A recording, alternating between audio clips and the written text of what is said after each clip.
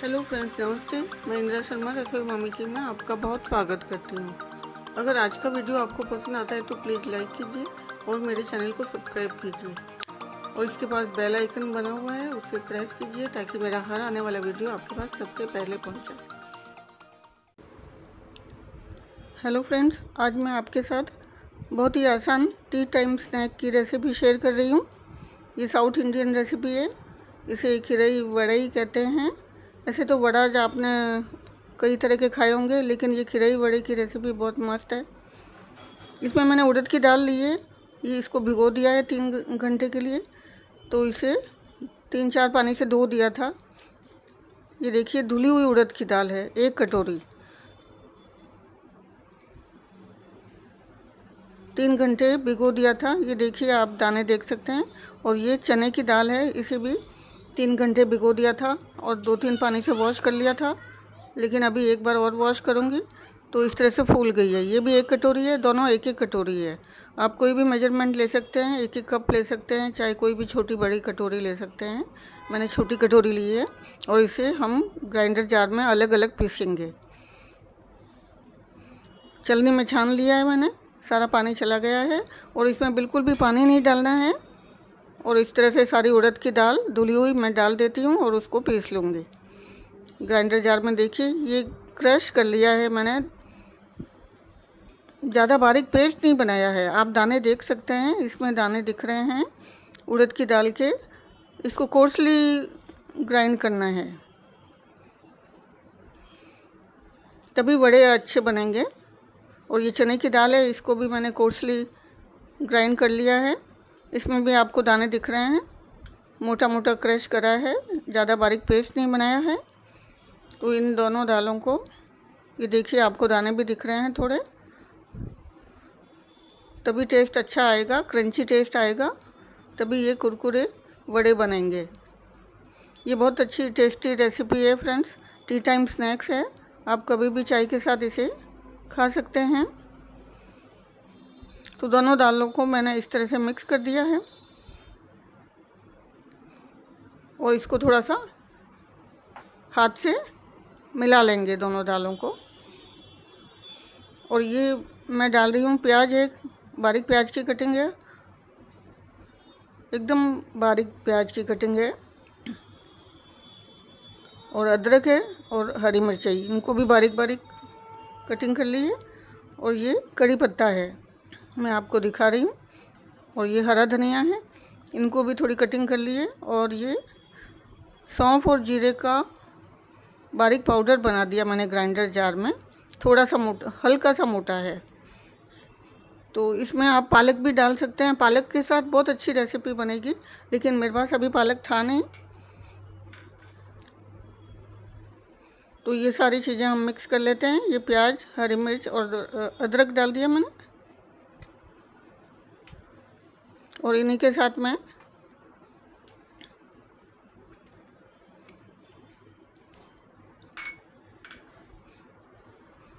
ये धनिया और कड़ी पत्ता भी डाल दिया मैंने कटिंग करके छोटी छोटी और ये सौंफ और जीरे का पाउडर डाल दिया है।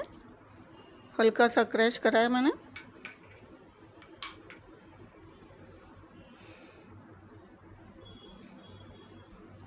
अब ये जो दाल का मिक्सचर है, दोनों को मिक्स कर देंगे। अच्छा सा हाथ से ही करेंगे तो अच्छा टेक्सचर हो जाएगा।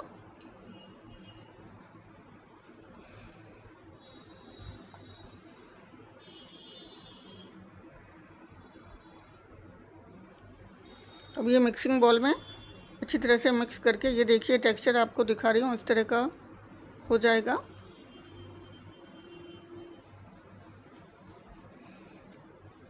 अब इसके अंदर जो प्लेट में हमने सारे प्याज वगैरह मिक्स करे थे, ये सब सब्ज़ियाँ डाल देंगे।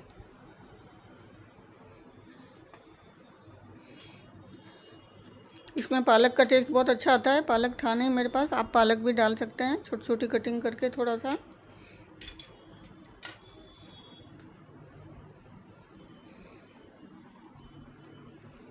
अब इसके अंदर मैं ये हींग डाल रही हूँ।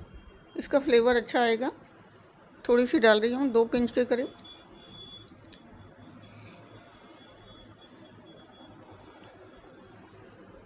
और ये नमक डाल रही हूँ।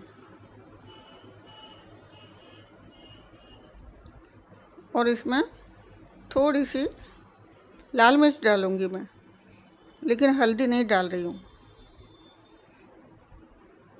और इन सबको हम मिक्स कर लेंगे। देखिए, पानी बिल्कुल भी नहीं डाला था मैंने। दालों में पीसते वक्त भी नहीं डाला था। ये बहुत क्रंची बनेंगे। इनको पतला पतला हम शेप में करेंगे बाद में। आपको दिखाऊँगी। तो ये टेक्सचर हो गया अभी।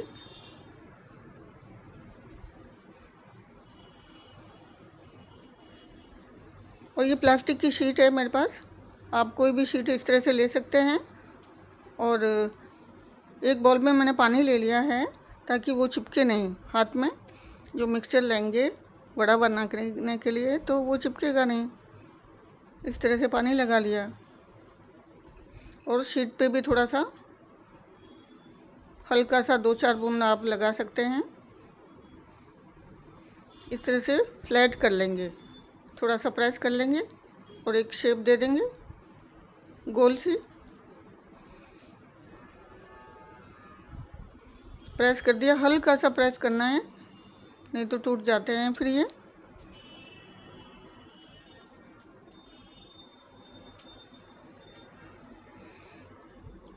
ये देखिए, शीट पे मैंने डाल दिया है वड़ाई का मिक्सचर फ्लैट करके।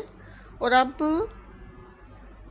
शीट के ऊपर फिर मैंने एक और शीट इसी इसी तरह से फोल्ड कर दी है, ताकि चिपके नहीं।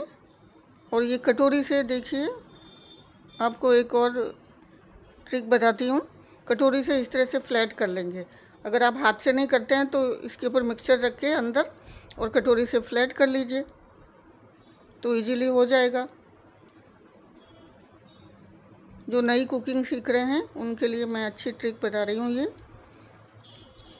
और इसको अगर शेप ज़्यादा देनी है तो आप कटोरी से एक शेप बना सकते हैं गोल सी और जो कटोरी को प्रेस कर लीजिए, आसपास जो दाल का मिक्सर आता है, उसे मिक्सिंग बॉल में वापस मिक्स कर देंगे।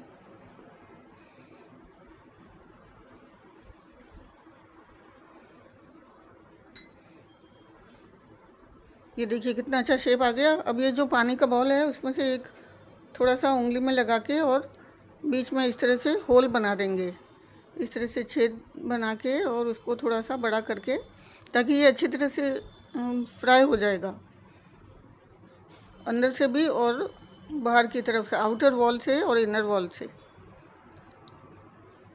ये तेल गरम होने रख दिया है कढ़ाई में चेक कर लेते हैं, गरम हुआ कि नहीं। ये देखिए अच्छा सा हो गया है गरम।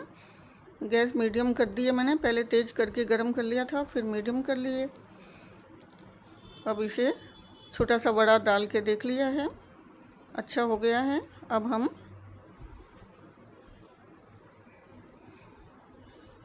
शीट पे जो वड़ा बनाया था, उसे डालेंगे।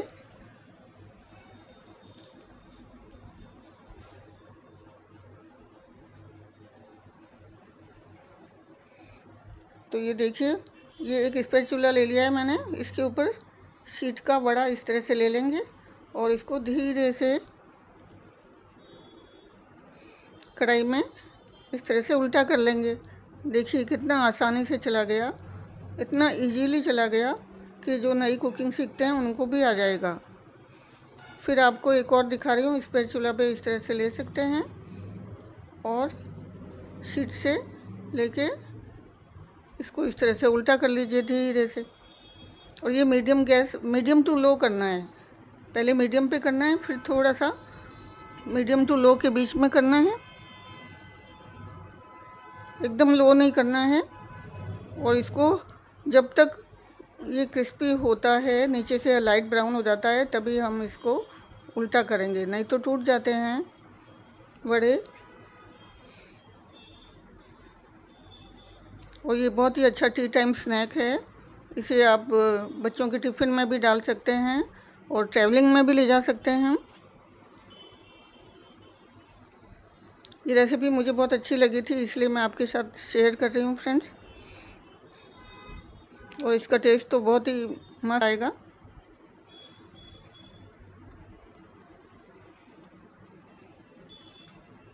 देखिए कितने अच्छे खिरई बड़ा बनने हैं।